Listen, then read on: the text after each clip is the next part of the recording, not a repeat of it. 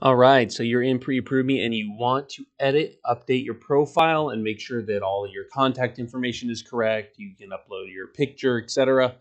To do that, click on the little business card down here in the lower left, or if this menu is expanded, click on My Profile. That's going to drop you into the area where you can edit pretty much everything about yourself and what your clients see that's not brand related. Okay, branding is, is done separately in your settings but if it's tied to you, to your NMLS number, to your address, all of that can be edited here. So you can see here, we've got our primary contact information, including the ability to add a website if you want that to be inside of your, um, you know, any of your contact information or the email signatures.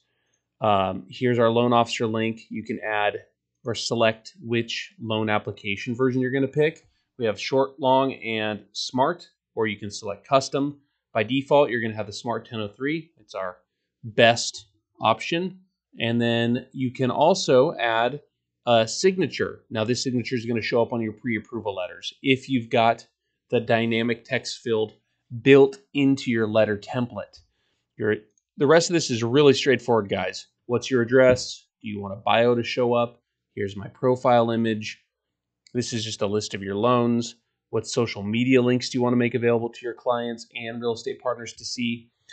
Are you using Zapier, for example, and need to generate an API key so you can integrate with the CRM or any other sort of system that you want Pre-Approve Me to talk to?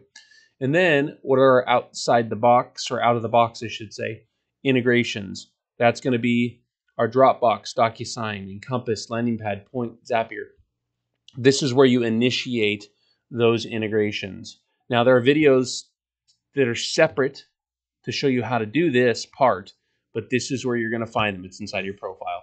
So hopefully that helps you understand uh, your profile and exactly what you can do in it. The other thing is you can also send yourself an app download if you want to send yourself the mobile app if you don't have it on your phone already.